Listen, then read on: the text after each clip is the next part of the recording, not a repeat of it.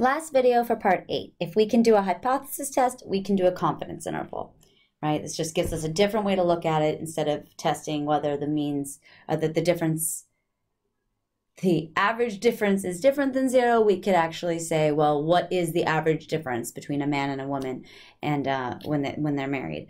And so in this case, uh, we're looking at a table of college students from September to April and their freshman year looking at their weight. So we're trying to see how much difference is there in their weights between September and uh, April. Is there really a truly a freshman 15? So um, they start in April and they, uh, they start in September, they end in April. So this student actually lost a pound. This student also lost a pound. This student gained four, lost two, gained one. So right now, not looking like there's a big difference between um, September to April weights. I mean, the, the biggest difference we saw was four pounds. Um, we saw people above, people below. So we would go ahead and say, okay, if we were if we're testing hypothesis, what we would be testing is the difference in weights zero. We don't have a direction that we may be inclined to be thinking about that freshman 15 myth or whatever, the idea that you might gain weight when you're in college with dorm food, especially if you're living uh, on campus. But since there's no direction mentioned, this would be what we think about in a hypothesis test. But in this case, we want to create a confidence interval. And it makes a little more sense in this context to me than it does in the previous one and in the 8.2 setting. So if we want to make a confidence interval for the mean, the average change in weight, this is something people would want to know. How much can I expect to see my weight change uh, when I'm in college from September to April, that first year? So we would use the confidence interval above, which is essentially the same interval we've seen before, x bar plus or minus t star s over the square root of n, all that good stuff. So we do need an x bar, a t star, an s, all that stuff. So I'll go ahead and just do this one by hand instead of using StatCrunch, uh, just because I have to go find all the information. So we need all of our data for how much people actually gained or lost, I guess, between September and April. So we have a negative 1, a negative 1, a 4, a negative 2, and a positive 1. And if we wanted to, we could do our 1 var stats on this. We Find that our x bar is equal to 0.2.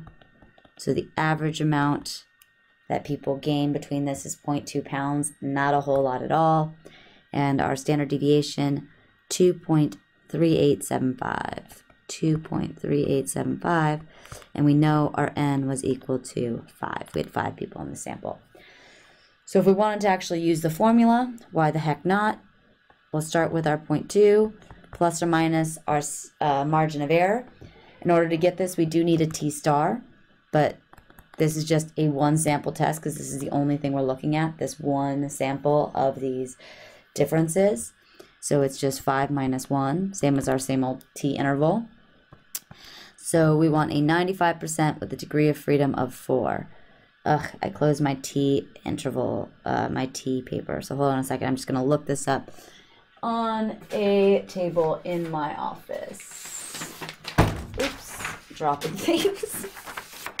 um, so degree of freedom 4. Like literally just threw a whole bunch of stuff on the ground.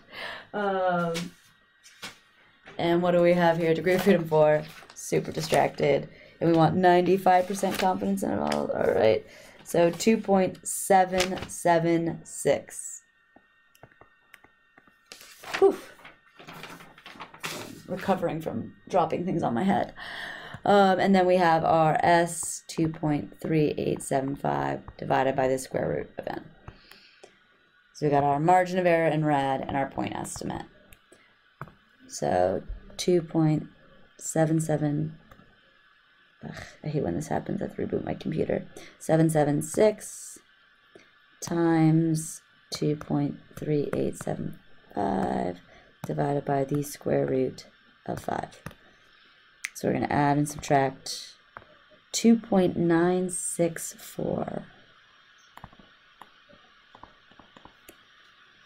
Now if we do that, we're going to end up with a negative 2.7640 to a 3.9640.